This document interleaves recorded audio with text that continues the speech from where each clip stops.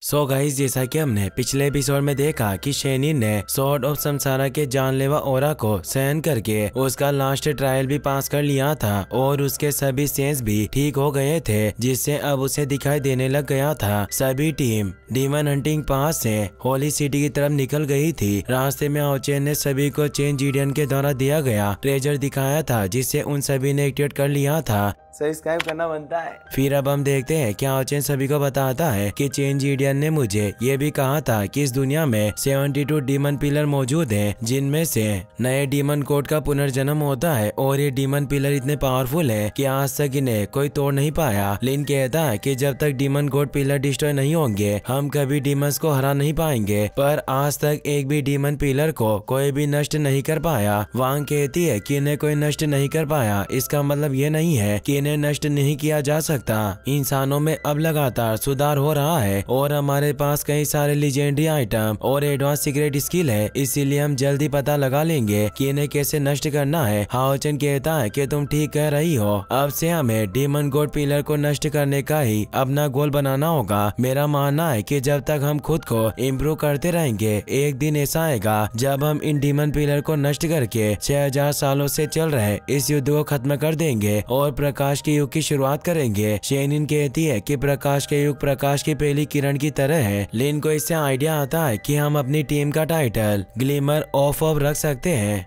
लिन कहता है कि यह नाम कमाल का है। हम वो सिंबल बनेंगे जो मानवता में आशा लाएगा। बाकी सभी भी इसे एग्री करते हैं। यानी अब से उनकी टीम का नाम फ़र्स्ट ग्लिमर ऑफ़ ऑफ़ था। हाउचेन अब सभी से कहता है कि सोल शेकलेस के उस ट्रेजर की वजह से हम सातों एक बोर्ड से बंधे रहेंगे। और अब हान्यू भी हमारे साथ जुड़ गया है। इसीलिए मुझे लगता है कि फ्यूचर में अब हम सभी साथ में लड़ेंगे। शेनिन और मैं वेन गार्ड के रूप में काम करेंगे। लिन और चेनियन पीछे रहकर इस स्पेल को कास्ट करेंगे और हमें प्रोटेक्ट करेंगे जियांग और वांग फ्लैंक पर कोरोडिनेट असल्ट को लीड करेंगे और हान्यू लिन और चेनिंग को प्रोटेक्ट करेगा और पूरी टीम की मदद करने के लिए तैयार रहेगा हान्यू भी उसकी बात से एग्री करता है और बताता है कि अनएक्सपेक्टेड सिचुएशन में रिस्पॉन्ड देने के लिए मैंने हीलिंग और सपोर्ट स्किल्स को भी सीखने पर ध्यान देना शुरू कर दिया है ताकि मैं अपनी टीम की कमज़ोरी को छिपा सकूँ। हाओचन कहता है कि लीडर गाँव ने हम सभी को बताया था हीलिंग ही हमारी टीम की एकमात्र कमज़ोरी है। जियांग कहता है कि आन्यू मुझे माफ़ करना? मैं हीलिंग स्किल्स को सीखने में सक्षम नहीं था, पर क्या तुम श्योर हो कि तुम हम सभी को हैंडल कर लोगे? हान्यू कहता है कि तुम चिंता मत करो, मैंने ओचेन के साथ एक कॉन्टेक्ट किया है, जिससे मेरी इनेट एबिलिटी मन 80 पॉइंट तक बढ़ गया था। जियान इससे चौंक जाता है और कहता है कि नेट मन तभी बढ़ सकता है, जब लिजेंडरी सन ऑफ़ लाइट के साथ कॉन्टेक्ट किया जाए। लिन काफ़ी हैरान हुआ, कहता है कि इसका मतलब यह है कि लीडर सन ऑफ़ लाइट है। इससे बाकी सभी भी चौंक जाते हैं। हाउचेन कहता है कि मेरा इनेट मन 97 है, जो वास्तव में सन ऑफ़ लाइट के रिकॉर्ड से मेल खाता है। जियांग हाउचेन के पैरों में गिर जाता है और कहता है कि मैं भी लाइट एलिमेंट की प्रैक्टिस करता हूँ, इसीलिए तुम मुझे भी अपने पैरों में जगह दे दो। लिन सोचता है कि मैं हमेशा से जानता था कि लीडर स्ट्रॉन्ग है, लेकिन मैंने कभी उम्मीद नहीं की थी कि वो सन ऑफ़ लाइट होंगे। और वो शेनिन के पास आकर कहता है कि तुम भी स्ट्रॉन्ग हो, इसीलिए तुम्हारे पास भी बहुत ही हाई इनेट मन होगा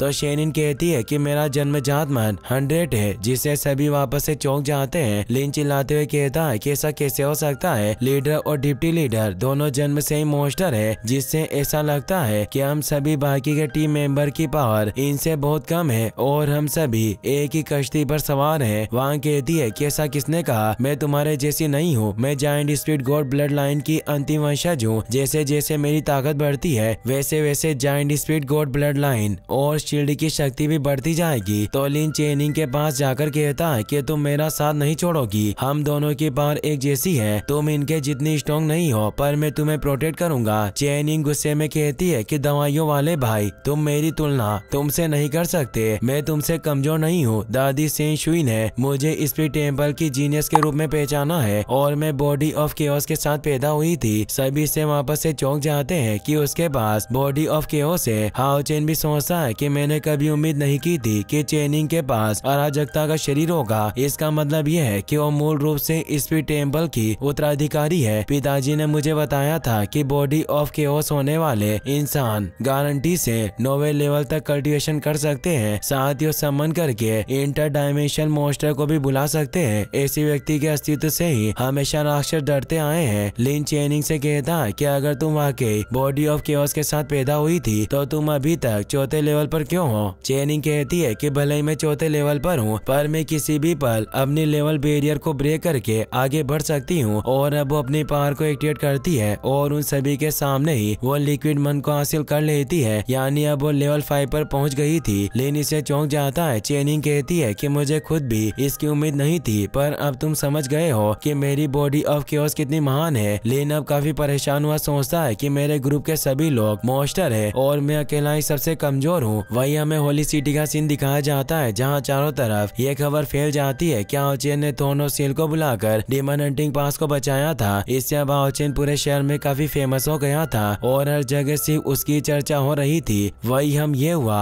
और lord holy knight Han queen को देखते हैं। हान क्वीन कहते हैं कि डीमन हंटिंग पास ने इस बार डीमन के खिलाफ जो जीत हासिल की, उसका क्रेडिट हाउचेन को दिया जा सकता है। तुमने वास्तव में एक एक्स्ट्रा ऑर्डिनरी स्टूडेंट का पालन पोषण किया है। ये हुआ कहते हैं कि हाउचेन के लिए स्वर्ग की ऊंचाइयों को छूना? उसकी किस्मत में लिखा हुआ था हाउचेन की दृढ़ता और माइंडसेट काफ़ी कमाल का है। वो हमेशा ऊंचाइयों और लोगों की मदद करने के बारे में ही सोचता है। हान्यू क्यून से कहते हैं कि मुझे लगता है कि कुछ सालों में ही हाउचेन और यहाँ की टीम अलायंस का फ्यूचर होगी। वो सभी कल वापस से होली सिटी लौट आएँगे और तुम आज ही जा रहे हो। क्या तुम वाकई हाउचेन को नहीं देखना चाहते? ये हुआ कहते हैं कि मेरे पास और भी बहुत से इम्पोर्टेंट टास्क है। मुझे अभी बहुत से लोगों को सिखाना है। तभी वहाँ ड्रैगन रेजिटेंस लीजन का फ़र्स्ट बटालियन जियांग आ जाता है, जो अपनी पिछली लड़ाई में सिर्फ़ अकेला ज़िंदा लौट कर आया था। हाओचेन का वही दोस्त था, जिसके साथ हाओचेन बचपन में ट्रेनिंग करता था। हान क्यूएन उसे कहते हैं कि तुम हज़ारों लोगों में से सिर्फ़ एक ज़िंदा बचे हो, इसीलिए अलायंस के रूल के मुताबिक हम तुम्हें फाइनेंशियल असिस्टेंस देंगे। यानी अब तुम्हें फ्यूचर में पैसों की कोई चिंता नहीं रहेगी। तुम अपने होम टाउन वापस लौट कर शांति से रह सकते हो। जियांगू कहता है कि मैं आपकी उदारता का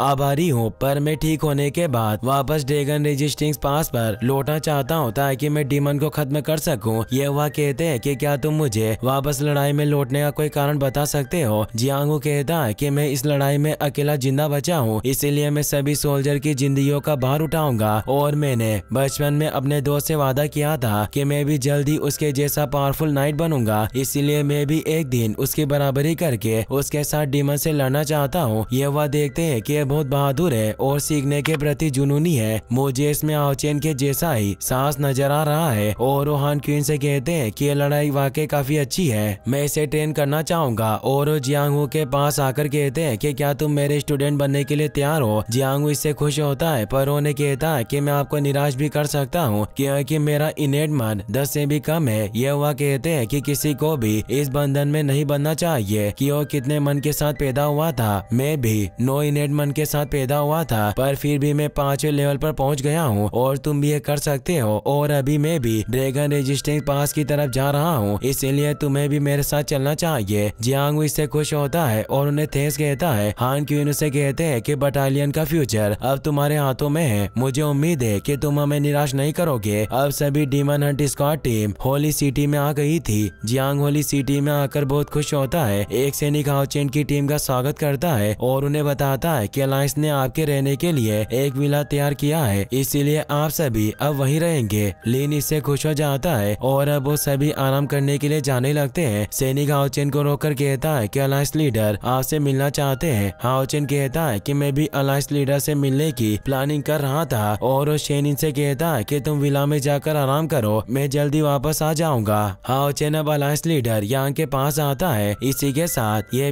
एपिसोड यहीं पर खत्म हो जाता है। गाइस अगर आपको वीडियो पसंद आया हो तो इस वीडियो को लाइक करने के साथ साथ चैनल को सब्सक्राइब ज़रूर कर लेना। मिलते हैं नेक्स्ट वीडियो में। Thanks for watching